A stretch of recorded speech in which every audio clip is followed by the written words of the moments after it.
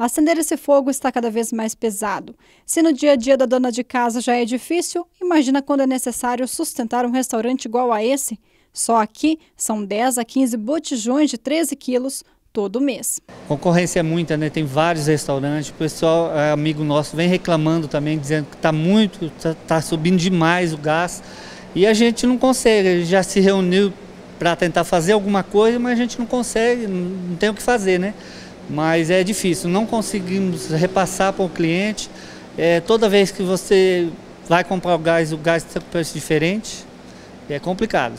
E agora a Petrobras anunciou uma alta de 1% para quem compra os botijões com essa pesagem, o que significa um reajuste com uma variação entre 0,5% e 1,4%. Os preços aos consumidores são maiores porque incluem custos e margem de lucro das distribuidoras. Nesta, localizada em Moarama, o valor ainda não havia sido repassado oficialmente, mas os funcionários já tinham conhecimento da mudança. Sim, tem que bancar, porque tem caminhoneta rodando, tem funcionário.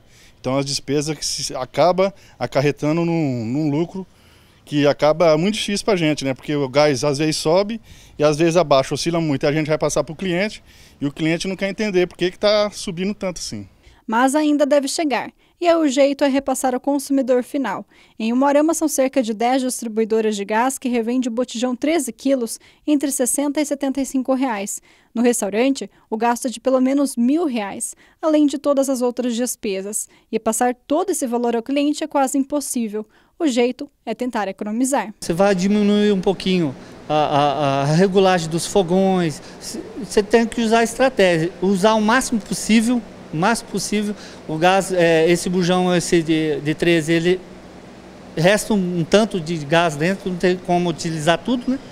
E a gente tenta fazer o máximo possível para utilizar, mas é difícil, não tem jeito. E além das altas em diferentes períodos, ainda tem gente que vende de forma clandestina, dificultando ainda mais o trabalho de quem paga todos os impostos. Hoje aqui em Moarama, infelizmente tem muitas pessoas que estão comprando um gás de má qualidade, com preço mais barato que se a pessoa for ver mesmo, ela tem que ver se realmente ela está comprando um botijão de 13 quilos, porque o que acontece? Tem muitos picaretas na cidade vendendo gato por lé, porque o nosso gás hoje é a base de 70 reais, tem gente vendendo a 65. Então tem que ver se a pessoa está comprando nosso gás mesmo, um gás de qualidade e um gás bom. Por isso, a dica é pesquisar. Pesquisar, rodar a cidade, ver quem pode atender melhor, te entregar, ter qualidade de preço melhor para você estar tá comprando. Mas é difícil, a concorrência também do gás é, é, muita, tem muita distribuidora de gás e eles também não sei o que, que eles fazem, o preço acompanha.